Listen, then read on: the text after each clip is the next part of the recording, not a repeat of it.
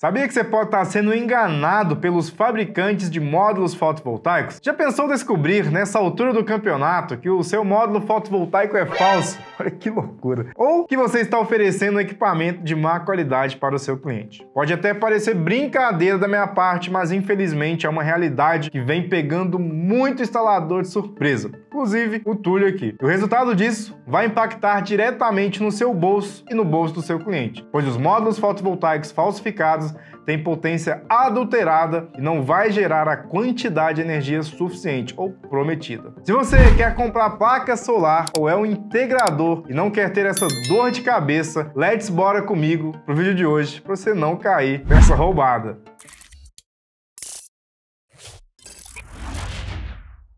Com o crescimento da energia solar nos últimos anos, também surgiram muitos fabricantes de módulos fotovoltaicos, inversores, principalmente da China.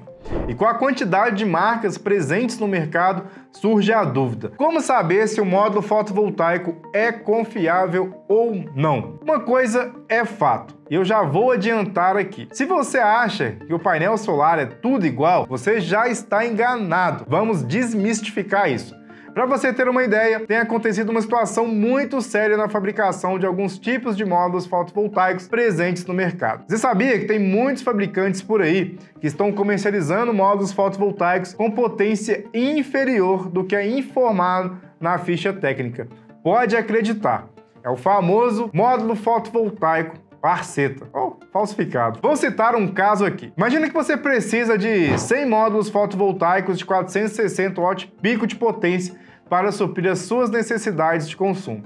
E suponha que os módulos estejam adulterados, de tal forma que cada módulo deixe de entregar 50 watts dentro do que é prometido, é claro. Você precisaria de uma potência total de 46 mil watt-pico para que o consumo seja suprido. No entanto, terá disponível apenas uma potência de 41 mil watt-pico. O grande problema é que uma hora a conta chega e adivinha quem vai ter que pagar pela energia que está sendo deixada ser gerada? É você. E se você for integrador que instalou esses módulos na casa de um cliente, pior ainda, vai ser uma falação danada na sua cabeça. Túlio do céu, você ficou doido, o que, é que eu faço agora? Calma, não precisa ficar preocupado, pois hoje eu vou te ensinar como identificar o módulo fotovoltaico de qualidade. Conforme a portaria N4 de 2011 do Inmetro, para que um distribuidor possa vender módulos fotovoltaicos no Brasil, ele vai precisar do número de registro do Inmetro daquele equipamento. Já no caso do fabricante, para que ele tenha o registro do Inmetro, ele precisa pegar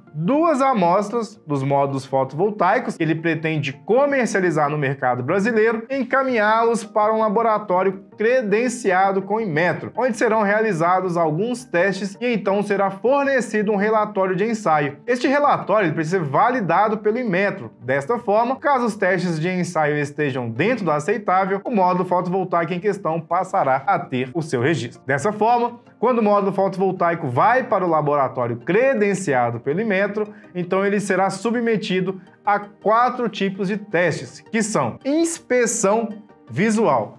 Consiste em uma análise visual para certificar que aquele módulo fotovoltaico possui as suas características preservadas. Determinação de potência máxima consiste em determinar a potência máxima de um determinado módulo em condições de teste padrão, radiância de 1000 watts por metro quadrado e temperatura de 25 graus Celsius. Isolamento elétrico, medida de segurança para certificar que a parte elétrica daquele módulo fotovoltaico está totalmente isolada e que não oferece riscos. Resistência de isolamento em condições de umidade. Como a umidade facilita a passagem de corrente elétrica, então esses módulos são submetidos a testes de isolamento com umidade para simular uma possível situação de chuva. Então, se determinado módulo fotovoltaico que tenha sido submetido aos testes de qualidade estabelecidos pelo Inmetro seja aprovado, ele passará a ter a autorização para ser vendido no mercado nacional brasileiro. Mas isso não basta.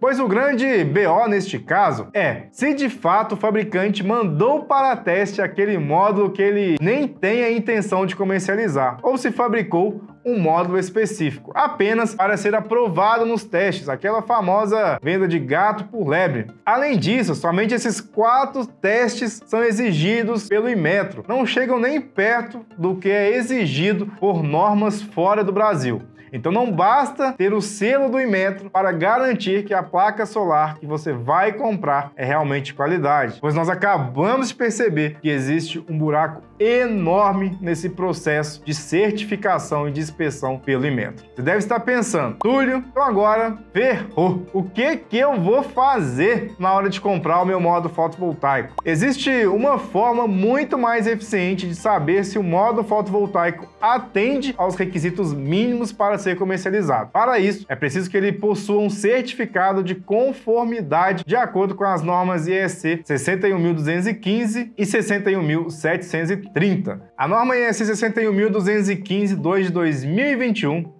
teste de qualificação dos módulos é constituída por uma sequência com 21 testes voltados a determinar as características elétricas e térmicas do módulo e mostrar que o módulo é capaz de suportar exposições prolongadas em climas gerais ao ar livre. Já a norma IEC 61.732 de 2016, testes de segurança, apresenta uma lista com 56 testes básicos destinados a verificar a segurança de módulos fotovoltaicos.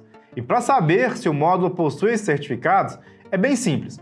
Basta olhar no datasheet ou mesmo solicitar essa informação ao seu distribuidor de confiança. Além disso, existem outras certificações feitas por laboratórios independentes, como a PVEL e a RETC, que também servem como parâmetro técnico para analisar a qualidade do módulo. Então, para garantir que você esteja comprando módulos fotovoltaicos de qualidade, é indispensável que você consulte o datasheet desse equipamento e certifique que ele tenha, sobretudo, as IEC apresentadas aqui. Por outro lado, é fundamental que você busque por distribuidores de confiança que comercializem módulos fotovoltaicos de qualidade. Tem muitos módulos fotovoltaicos no mercado com preços bem abaixo e que talvez a procedência fique aí duvidosa, pois o barato às vezes pode sair caro. Então dá uma pesquisada, dá uma olhada nisso tudo antes de comprar o seu módulo fotovoltaico. Com todas essas informações sobre os módulos fotovoltaicos, eu tenho certeza que você nunca mais vai correr o risco de ser enganado. Se ele foi útil para você, não deixe de compartilhar com seus colegas da área. Deixe seu comentário aqui também